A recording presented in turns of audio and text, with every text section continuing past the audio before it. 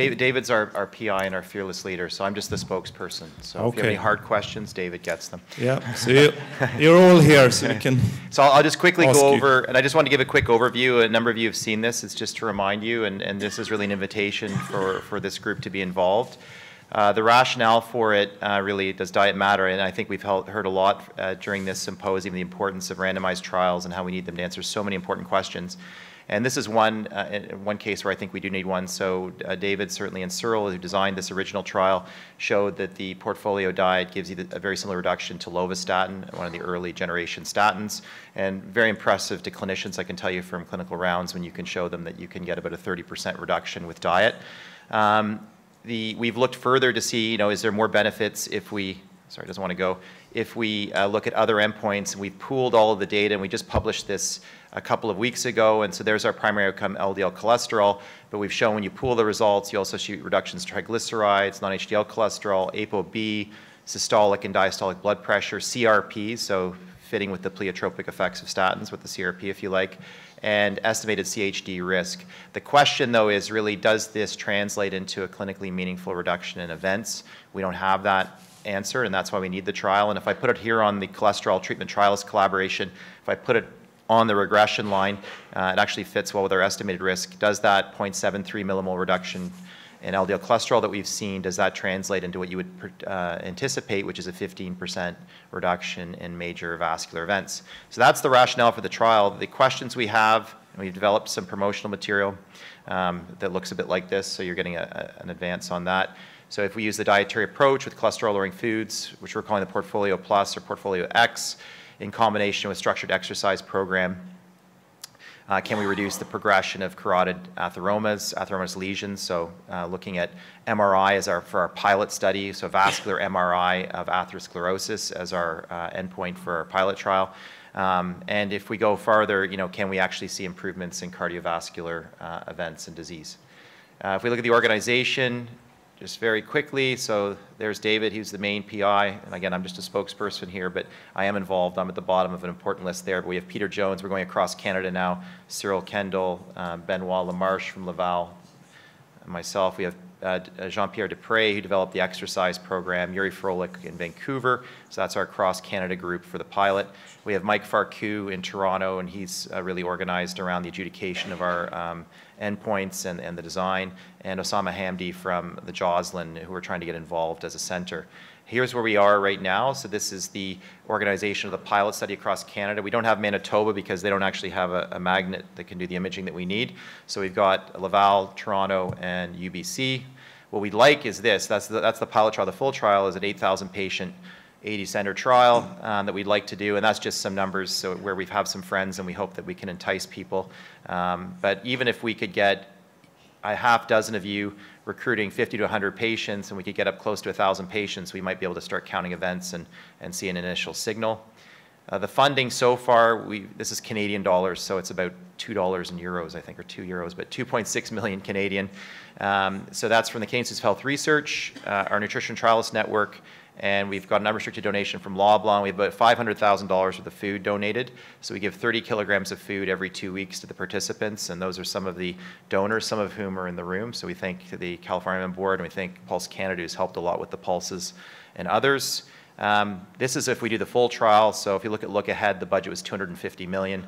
So this is what we can imagine we might be able to um, able to get if we could, uh, if we were able to shake the trees hard enough, but we've been struggling to raise that kind of money. There's not, it, it, it is, a, it is definitely a hard row. Uh, design and outcomes, so it's a, we factorialized the design. So it's a two by two factorial design where we have the portfolio plus exercise, and portfolio with no exercise, then standard diet or standard of care diet with or without exercise. Um, Our eligibility criteria, so these are people that are at high risk for cardiovascular disease. So they have a a 20% greater Framingham risk, or they've had a previous event, or they have uh, diabetes, uh, and a number of those other risk factors which will give them that risk. Exclusion criteria is there on the right. You can read it, I'm just mindful of the time. Um, Here's the power for the pilot trial, looking at vascular endpoints, vascular MRI. So it's 200 people, 100 per group. It goes over three years.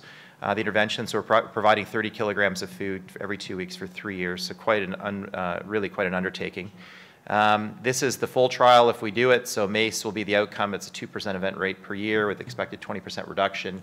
And there's your MACE outcome, MI, revascularization, CV hospitalization, CV mortality, and stroke. Um, intervention, so here's the portfolio diet concept, familiar to most of you, but just sort of uh, shown uh, in a nice sort of uh, pictorial way. So it's a handful of nuts per day. It's uh, 20 grams per day viscous fibers. We've gone up to 80 grams per day with the plant protein for those who are able to do it, half of which is coming from soy, or a little more than half, and plant sterols, two grams per day. We've enhanced that by adding um, healthy, healthy uh, heart-healthy oils, plant-based oils, extra virgin olive oil, extra virgin can't actually say extra virgin canola oil. It's cold pressed canola oil, but same concept, extra virgin soybean oil and low glycemic index foods. So it's an enhanced portfolio. This is the exercise component. It's an a la carte exercise program to reduce sedentary behavior. Target 150 minutes per week of exercise and 10,000 steps. Where are we? So this is the food that we've had donated. So thank you again to uh, Almond Board of California. Thank you also to Pulse Canada who organized some of these pulses. PepsiCo is giving us steel cut oats, an oat bran. Kellogg is giving us all bran buds with psyllium. Unilever is giving us plant sterol margarine. We have extra virgin olive oil from a, a supermarket chain in, in, Canada, which is uh, called Loblaws. We've got Pristine Gourmet. Uh, we're actually purchasing these. Um, they're their extra virgin canola and soybean oils. We have pasta from Barilla, which is our low GI foods, as well as some of our uh, of the pulses. Uh, and Silk, which is now White Wave Danone or Danone Wave, is providing the um, the, uh, the soy milk. This is the data, most recent data that Cyril put together uh, where we are. So we've actually, uh, Laval has closed their randomization, so they've, they've met their, their target. Um, we and UBC are still uh, recruiting. Um, we've randomized almost half the participants, and we anticipate closing that recruitment down in September, October, and UBC is, is going to be hopefully closing down theirs in July. Um, this is a, a, very rough timeline based on that when we started, and then this is the, um, the three years um, of the trial. So we hope that our last patient, randomized patient, will complete in October 2021. What is the next step? Well, sorry, the numbers are off here, but it's 80 centers, 8,000, or it could be 90 centers, 9,000. The power probably needs to be higher these days. Um, we are happy to provide the, pro the protocol. So we have to some of you, certainly our Finnish friends or Sir Schwab, uh, uh, Marianne Ha uh, in the UK. We've provided the protocol. We're, we have promotional materials. We're very happy to provide those uh, to get you involved. I know Simin Liu has expressed interest, and I think David will talk to the, uh, speak to that a bit, and a number of others. So there's no shortage of enthusiasm. It's really can you get it funded. So we're happy to provide the protocol and uh, the fundraising materials that you might need to hopefully be able to raise the money to be um, uh, um, and hopefully then we can get enough centers that we can actually start looking at some body counts. Um, the impact, put the focus on healthy diets and lifestyles, shape international guidelines, and make industry part of the solution. So please join us. And with that, we'll switch to the next presentation. If you could, please, at the back. The next presentation. Next, next one, yeah. So David's going to uh, sort of address some of the issues that we've had and the way forward. There we go.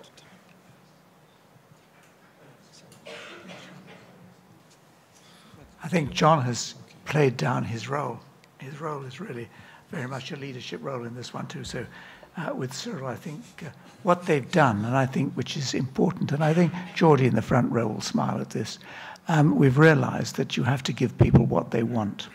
And I think what they well, if you give them what they want, you then get a drug-like effect. You can let diet have its full effect. We never, we never run trials where we tell people, go out and buy a statin for yourself um, and then take it, and uh, then we'll, we'll, we'll judge whether things are working or not. We give them the statin. We give them what drug we're taking, they're taking. So I think what John and Cyril have done is they've put together a, a, a not a, a metabolic diet, but as close as we can, giving the foods that we think you ought to be eating so that you are more likely to eat them. And if you enjoy eating them, you'll keep eating them. So that's the, that's the plan. Um, and, I, and, and, I have to say that I, I would put I should have put my name at the back on this one um, because I think I'm I'm sort of uh, I'm I'm merely the, the pessimist who stays around and saying look there are lots of problems to all these sort of studies. Um, as as as uh, as John said, recruitment. Uh, Quebec is 100%, Toronto is 50%, Vancouver is about 70%. We should have recruited and finished our recruitment um, at the end of last year. We're still pushing on. recruitment has been slow. And it's been slow largely because of uh, a number of reasons. The, the, the, my wife said, Alexandra said, that you mustn't call it just, I think I was going to call it something awful like reasons why we're going to fail. She said, no, you should call roadblocks, is what you should call it. So she, she, um, um, she's very good at making sure that things have the right optics. Um, ethics have been a real problem for us in Toronto. Um, we've been told we can't have follow-up phone calls even though we're allowed to send letters. But there's an invasion of privacy. We've had about six months of discussion with them as to whether giving a patient a phone call is actually an invasion of privacy. It's a bit crazy we think because they allow us to do random digit dialing which is far worse. You just take the whole population and just uh, randomly dial them and you're allowed to do that as much as you like but you can't follow up when you've sent a letter with a phone call to say, have you got the letter? Our place is, is, is, is that's, a, that's a problem. It's taken six months of, of, of, uh, of, uh, of an investigator salary uh, just to, to try and solve that, and we haven't solved it yet. Food delivery, tremendous, but it costs a lot. Um, and to, to get the companies uh, to stay even as one company is difficult. In other words, as we're finding, and, and Cyril mentioned that uh, Danone has been uh, have taken up White Wave and and White Wave have taken up uh, Alpro, and you know, and so all, all these things of oh, companies are constantly shifting. So if you're running a long-term study and you're asking for donations, you've got a problem. Um, and I see um, Jordi nodding away in the front, who runs these things and knows the problem.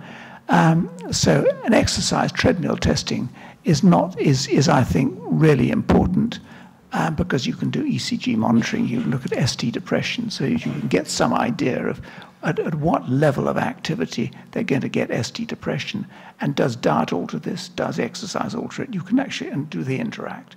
Uh, never been done before, is a problem. It's got a cost to it, much more than we thought and also potential adverse events. I mean, you're going to have patients who come out with atrial fibrillation after they've been running on the treadmill. And you've got to start thinking about these because what we're doing is we're, we're having to, to, to recruit very high risk patients. David, could you please uh, Finish. try to wrap up? Time Good. is out so since. we have many, many problems. And uh, I just say that we're very glad that Simin Liu is going to bring in China and Jeff is going to transculturalize. Uh, culturalize, am I correct? Um, the portfolio. So I think, thank you. Thank you.